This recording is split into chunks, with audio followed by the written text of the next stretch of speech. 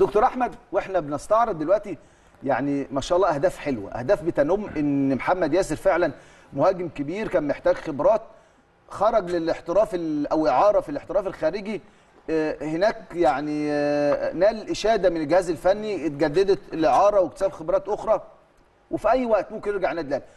بنشوف أهداف حلوة قوي لمحمد ياسر. طبعا نجيب بس أول هدف كده الهدف اولا الجونين الجونين بشماله.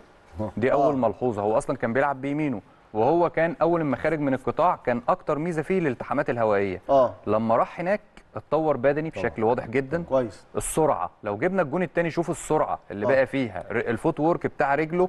بعض الناس في الشباب هنا دايما بنقول آه عندهم عنصر الطول بس ال footwork بتاع رجله أو اللعب على الأرض آه. مش أب- محتاج يتطور فيه. محمد ياسر لما راح هناك من الواضح جدا إن هو اتطور في الحتة دي. بص الجون ده. بص السرعة. هاتوا من الأول شوفوا السرعة فيه. آه. شوف السرعة وإن هو كان بيجيب اجوان كتير بالراس دلوقتي بقى باليمين وبالشمال. فده التطور. وهنا شطارة إدارة النادي الأهلي في إن هي بتعير لعيب زي محمد ياسر في الدوري التشيكي. الدوري التشيكي ميزته في البدني المدرسة الأوروبية في التطوير البدني للاعب. بص بص هنا السرعة كابتن محمد يا كابتن أسامة. بص نص هنا الملعب. المهارة كمان في الواحد على واسع. واحد. برجله بقى واسع والتهويش والترقيص وال finish بالشمال. فده مهاجم مكسب كبير جدا للنادي الأهلي إن هو بيلعب في دوري قوي الدوري التشيكي الكرة التشيكية ممتازة على المستوى البدني. التطوير أحسن حاجة فيه كمان إيه؟ الرغبة.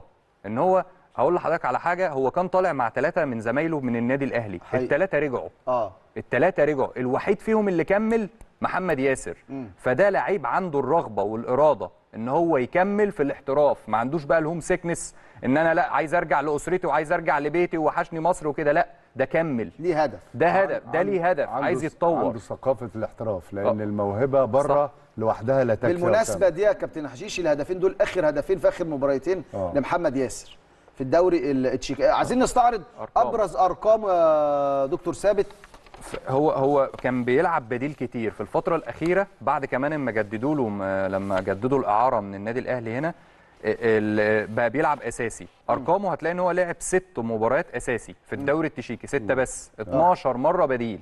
يعني شارك في 18 مشاركة. يعني النهارده بدأ ياخد المدير الفني هناك يعتمد عليه وياخد مساحة أكبر آه. بقى بدأ إن هو بيشارك أساسي كام مرة؟ ستة. آه. و12 مرة بديل.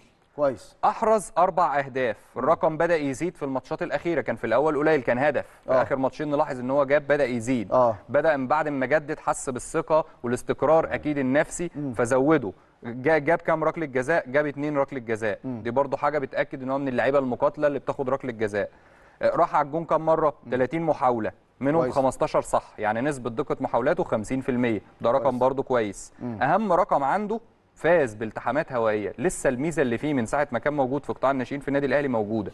الرقم ده هو ترتيبه تقريبا حاجة و20 من أكتر اللعيبة في الدوري التشيكي اللي بتكسب التحامات هوائية. 35 التحام وهو لعب ست ماتشات بس أساسي و12 بديل. ده رقم كويس جدا. على مستوى صناعة الفرص صنع 10 فرص. المراوغات الناجحة تسعة. نكمل. دخل تشكيلة الأسبوع اللي هي التشكيلة المثالية بتاعت الدوري التشيكي. آه. بي بيستعرضوا تشكيلة مثالية كل أسبوع. هنلاقي إن هو دخلها مرة واحدة. حصل على أخطاء 25 دي بتدل إن هو مهاجم محطة بيسحب زمايله لقدام بيعرف يجيب فاولات ويسحب زمايله لأن هو مميز على المستوى البدني وعلى مستوى الالتحامات الهوائية. تمام. دقة التمريرات 60% دي محتاج يتطور فيها لسه. دقة التمريرات بتاعه المهاجم المفروض توصل ل 70 75 كويس. 60 ده قليل شوية.